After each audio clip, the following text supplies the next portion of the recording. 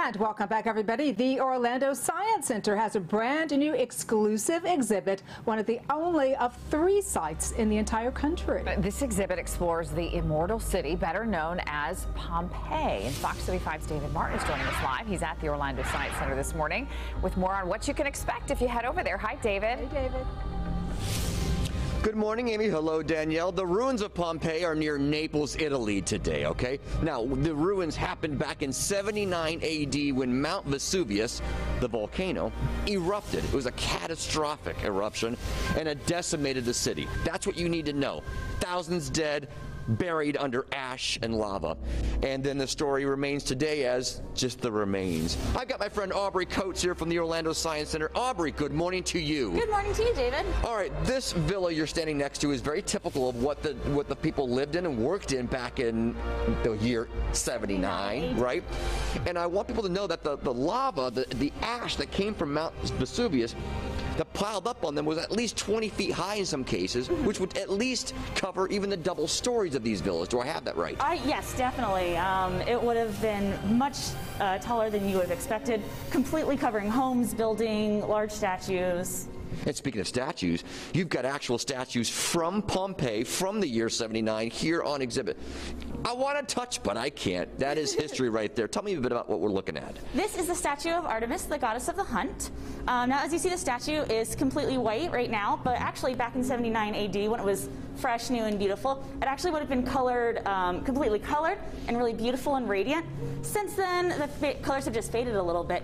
But if you come in and you look a little bit closely at her shoulder and her sleeve, you're actually going to be able to see some of the traces of those original colors. Wow. And this was excavated who knows in what year, but because Pompeii has been excavated multiple times in the past nearly 2,000 years. Do I have that right? Yes, it actually took a while for us to first excavate Pompeii while it was under all of the ash and rock. Yeah. Um, they weren't really aware anything was under there until they did get that first excavation. Well, I want to show them the bread. Actually, that's behind you, Paolo. You've got all kinds of unique things from from the ruins, including what bread. Well, this is an actual loaf of bread that basically was encased in ash. Yes, it got so burnt that it was actually turned into a literal piece of carbon almost like um, a piece of coal you'd put on your grill. So that is completely carbonized bread. But that's a pretty standard model, what it would have looked like with the um, eight different slices in it. And Yeah. you can see it gets its own VIP treatment, its own room here. Yeah. And that's just to keep uh, any kind of lights from damaging it or making it fade. Very good. You have a lot of things protected behind glass here, but the last room in the exhibit is the one that I imagine gets people to stop and just ponder life because, well, I'll let you explain what we're looking at. So these are two um, casts. Uh, these are actually casts of the original body cast of two of the victims of Pompeii.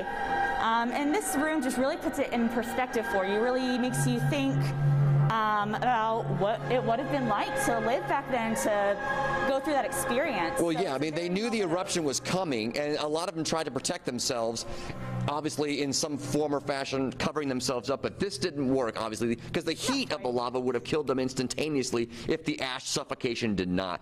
So this is really a, uh, a somber scene here. Uh, more than what 1,500 people died, and many got out, but many did not. Yes, many tried to leave at first. Um, when some realized that wasn't an option, they tried to take cover in buildings. But as you mentioned, between just the lava, the buildings collapsed, and just massive amounts of like smoke and dust that Yeah. would have just been very difficult to breathe in. So much to learn here. Orlando Science Center reservations are required to see this exhibit, but it's part of your daily ticket. What's the website for all the information, Aubrey? www.osc.org slash Pompeii. All right, Amy and Danielle we'll send it back to you. Incredible. It looks great, David. Thank you. Coming up next in our next half hour, with just over a week to go, there are important election deadlines that are coming up. Still ahead, we're going to break down the dates you're going to have to keep in mind. We'll be back with that right after this.